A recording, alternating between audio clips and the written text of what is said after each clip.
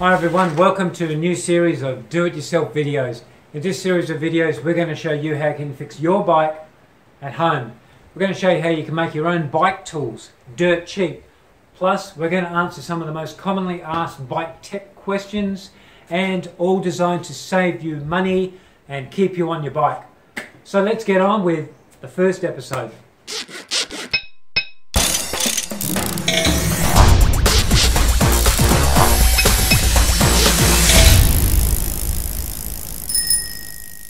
Local bike shop and we've got a bike here, typical bike where you can't take a chain off. Anyhow, the person wants to know how can you clean your chain, your back cogs and your front chain rings without taking your chain off. How am I going to do it? Well, we finally figured out a way. Here's how to do it. First thing is to grab your spanner and take off the rear wheel. Now we've got to support the chain so you can pedal it without it flopping around everywhere the simplest and most available tool being a stick. Put a stick on the rear stays with the chain wrapped around it and there you go. Now if you don't want the stick to scratch the paint on your frame, you can put the stick in the dropout. You've just got to find the right size stick. Hmm. Nope, not that one. Yep, that one's done it. There you go. Look at that, works lovely. Next suggestion, big screwdriver. Put in the same place as the stick. Yeah, not too bad. But we want a tool specially made for the purpose. Something we can hang on our tool rack at home. So take yourself to the hardware store, grab yourself a bolt. It's called a cup head bolt. Make sure it's got a square collar on it, so that it fits into the rear dropout like this. The collar prevents it from rotating all the way around. I measured the bolt length at 60, but you can go anywhere from 50 to 100 mil. Now grab a nut for that bolt. I'm just grabbing two, one for a spare, and two wide flange washers. Looks like they only come in a packet. Oh well. Well, that turned out the bolt was 69 cents, the washers were 37 cents each, and the nuts were 50 cents each. Total of $2.43 so far. Now you're at home, cut yourself about a foot of common garden hose. Make sure you turn the water off first. Now cut yourself two smaller pieces, about 40-45 millimeters for that 50 to 60 millimeter bolt. So that's all the bits we need and now we'll put it all together. Jam the nut in one of the hose ends. It needs to be a fairly tight fit so if the hose is too small just widen it a bit. I'm choosing a pair of pliers here. To help force it in, put the nut on the end of the bolt and push it into the hose really hard and it'll go in. Take the bolt out and leave the nut in there. Putting it all together now, Put the washer on first near the head end, then the piece of hose without the nut in it, then another washer, and then the piece of hose with the nut in it. And there you have it. So, that piece of hose with the nut in it really is only the handle. If you take it off again, you can just use a spanner, or you can just makeshift some sort of handle on your own. This is a bit of a plumber's end that fits on quite tight.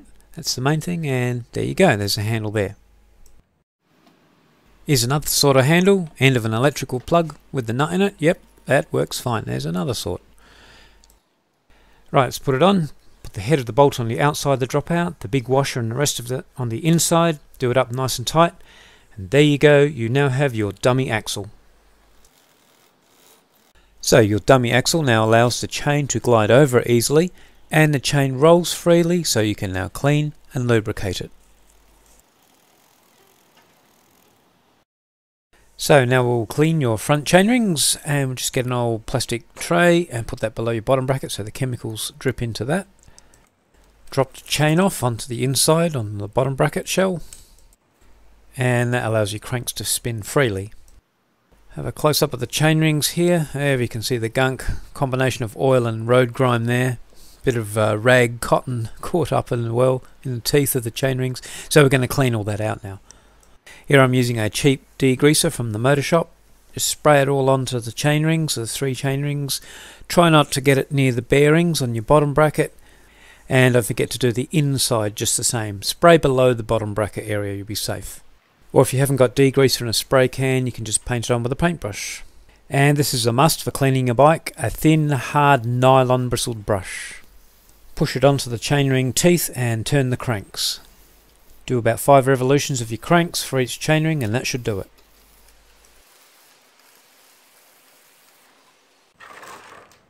Spray bottle of water, spray it on, washes all the gunk off into the drip tray. Again, try and spray away from your bottom bracket bearings. Usually keep it below the bottom bracket axle level and it just drips downwards.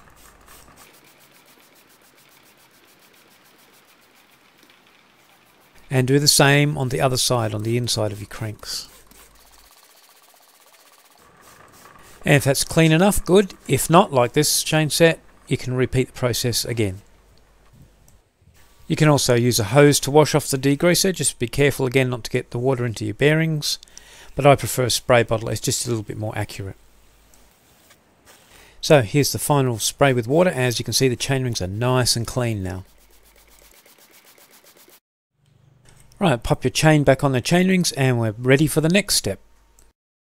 To clean your chain, it's a simple tool you can make. Get two old toothbrushes. Using the remainder of the garden hose you've cut up, and you also need a small piece of 19mm poly. With your garden hose, cut around about a 65mm piece, doesn't have to be exactly. And do the same with the 19mm poly, you only need a small bit. So, these should be the pieces that you now have. Now put the heads of the toothbrushes toward each other evenly and press them in together. And at the handle end slide on that 19mm piece of poly first like that. And then the piece of hose afterwards. It'll be a lot harder to get on if the toothbrushes are adult toothbrushes. If you do have trouble getting the garden hose on just use some warm soapy water and the hose will slide on You don't have to do this step, it's real handy. Drill a hole through the handle, small hole, and then thread a curtain ring through and then you can hang it up on your tool rack. But don't hang it up yet, we got to clean your chain. If your chain's really dirty, use a drip tray. If your chain's fairly clean, you'll get away without. So spray on degreaser again, all on your chain, along the whole length, and both sides. And of course your dummy axle is still in the back there. As you can see, sliding the black poly up and down with your thumb open and closes the brushes together so clamping the brushes together on the chain, you can clean the top and the bottom part of the links, and also you can clean along the faces of the links. The best way I find is to clamp the brushes on the chain, pedal in one direction, and then after a while pedal back in the other direction.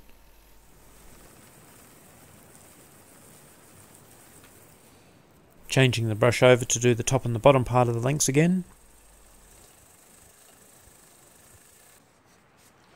Again with a water bottle sprayer, now spray the chain. Or again you can use the garden hose. And don't forget, do the other side as well. Degreaser does a good job of stripping oils out of your chain, so relube your chain liberally. And it's always better to apply too much than too little. After you've put enough lubricant on, Keep pedaling the chain around as this will help get the lubricant into the rollers and pins of your chain. Your chain should now feel smooth and sound quiet. So grab a rag, clean rag, grab it on with your hand onto the chain and spin the cranks again and this will just take away all the excess lube from off the chain. These jockey wheels are neglected, in need of a good clean. There's bits of string and oil and dirt all caked up on them. If your jockey wheels are this bad, they're easier cleaned when they're removed from the rear derailleur. There we go, jockey wheel doesn't look too bad after all. But it was all that string. That would have taken ages to get off if I left a jockey wheel on the rear derailleur. To clean the jockey wheel while it's on the derailleur, spin the jockey wheel onto a flathead screwdriver. There we go, removes most of the junk. And don't forget, do the other side as well.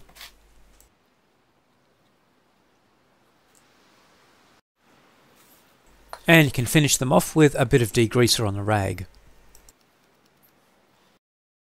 Cleaning the rear cogs is fairly easy. Get a clean rag, fold it in half and spray some degreaser on the fold. Place the fold between two cogs and move it back and forth like this. Then you move up to the next set of cogs and so forth until you've done them all. And don't forget to clean behind the first cog and on top of the last cog there. All done.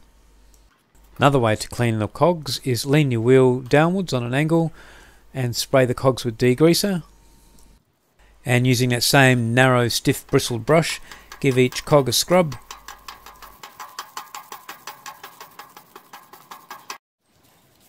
Now use that spray bottle to spray the degreaser off or you can use a hose but always remember keep your wheel at an angle so the waste runs away from the bearings. Back to the bike and take the dummy axle out and put your back wheel back in.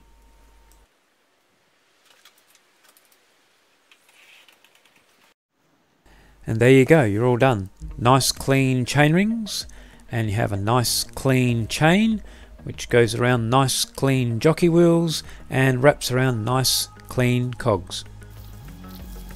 Don't forget to wash out your brushes and your drip tray and hang them up to dry. So the dummy axle and the chain brush tool will work with any bike, even more expensive bikes.